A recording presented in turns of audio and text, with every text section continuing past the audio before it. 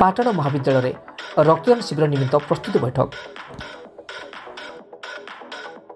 କେନ୍ଦୁଝର ଜିଲ୍ଲା ପାଟଣ ଆଞ୍ଚଳିକ ମହାବିଦ୍ୟାଳୟ ପରିସରରେ ପାଟଣ ସମ୍ବାଦ ଆମ ଓଡ଼ିଶା ପାଟଣ ଆଞ୍ଚଳିକ ମହାବିଦ୍ୟାଳୟ ମିଳିତ ସହଯୋଗରେ ଆସନ୍ତା ତେର ବାର ଦୁଇହଜାର ବାଇଶ ମଙ୍ଗଳବାର ସକାଳ ନଅଘଣ୍ଟିଆ ଠାରୁ ଏକ ରକ୍ତଦାନ ଶିବିର ଅନୁଷ୍ଠିତ ହେବ।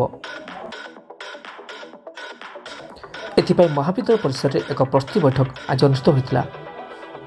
ଏଥିରେ ମହାବିଦ୍ୟାଳୟର ଅଧ୍ୟକ୍ଷ বীরেন্দ্র কুমার সাউ অধ্যক্ষতা করে মুখ্য অতিথি ভাবে পাটনা গোষ্ঠী স্বাস্থ্যকেন্দ্র ডাক্তার পার্থ সারথী দাস যোগদান দিয়ে রক্তদান বিকল্প নয় বলে মতব্যক্ত করে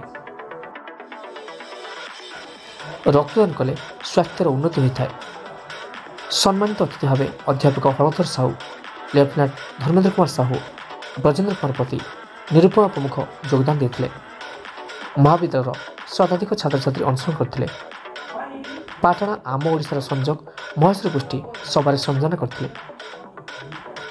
ପାଟଣାରୁ କଳ୍ପତରୁ କର୍ମ ରିପୋର୍ଟ ଓଟିଏନ୍ ଟିଭି ସେ ପାଣି ଟାଙ୍କିଟା ଯଦି ରେଗୁଲାର ଇଣ୍ଟରଭାଲରେ ତୁମେ ସଫା ନ କରୁଥିବ ସେଠି ମଇଳା ବସିକି ରହିବ ନା ନାହିଁ? ଗୋଟେ ପୋ-